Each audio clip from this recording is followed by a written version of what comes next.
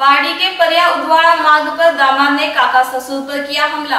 पारडी के परिया उदवाड़ा रोड पर एक दामाद ने अपने दो साथियों के साथ मिलकर काका ससुर पर हमला कर दिया है।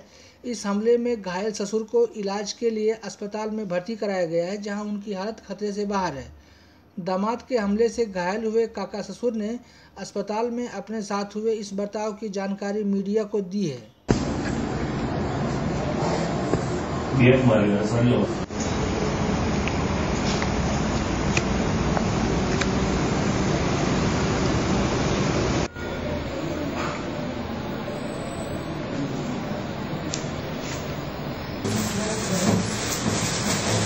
સાત સાડા સાતે જેવું દોડે નીકળે સાડા સાતે દોડાથી નીકળ્યો. પેટ્રોલ પંપ પર ગયો પેટ્રોલ પંપ કરાવ્યું પછી શાકભાજી લીધી દૂધ લીધું. આમ કરીને પોણા આઠ જેવો મેં નીકળ્યો ઘરથી. તો જેવો ડુંગર સુધી આવ્યો ને મારા પાસે ફૂલ વ્હીલ ગાડી આવી ને ફૂલ એકદમ પ્રકાશ વધારે. એટલે મેં તો ચાલી મારા આગળ ગાડી નીકળી ગઈ પણ તે ગાડી મારા નહીં નીકળે. મેં મારા રીતે ચાલ્યા ગયું. આગળ જતા જતા ધીરુભાઈને ઘર નજીક લાલ દરબારને આગળથી ત્યાં એક બે બાઇક વાળા ત્રણ જણા આવ્યા મારે. ને પાછળથી મને આ જો મારી સાંભળ્યા મળે ફટકો માર્યો જોરમાં. એટલે મારો જો બાઇકના જે ગોલ્ડર પકડેલા ને, તે મારા હાથ છૂટ્યા ને એટલે જિંજર પડી એટલે મેં કહ્યું મારા હાથમાં હું તેલા લાઇટના થાંભલો પડ્યો એટલે મને એવું થઈ ગયું.